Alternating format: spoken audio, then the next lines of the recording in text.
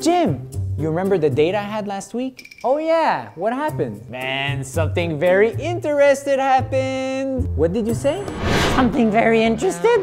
Grammar Granny? We've talked about this grammar before. Right? And you be quiet. Now listen, Ryan, you have to be careful with your verb tenses. You should say, something very interesting happened. Not, not something very interested. I'm so bad with verb tenses. So, what's the grammar rule? Ah, it's something very interesting because Because you're not talking about your current feeling. current feelings. You're talking about something. That's what I was gonna say. I'm interested. That's interesting. Thanks, Grammar Granny. So, what happened on the date? Um, we held hands? Good, good. Doodaloo. Held hands? That's it? Hello, everyone. My name is Paul Seoul, and welcome to the Grammar Granny series. What's that you said?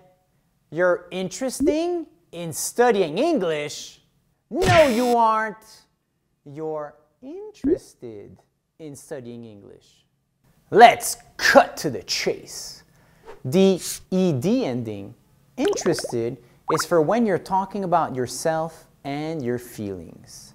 The ing ending, interesting, is for when you're talking about others or something outside of yourself.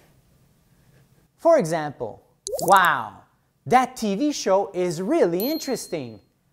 I'm interested in that TV show.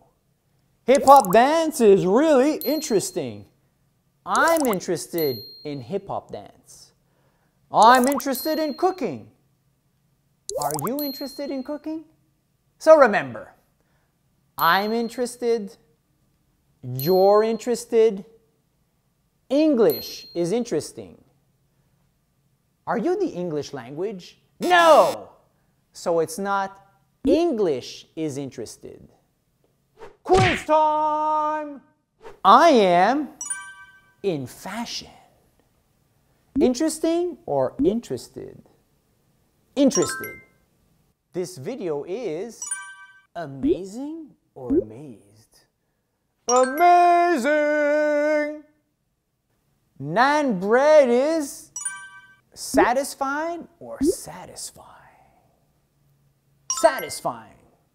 Good job, Paul. Thanks, Grammar Granny. Learn more expressions on the Cake app to talk like a native speaker. Download Cake now.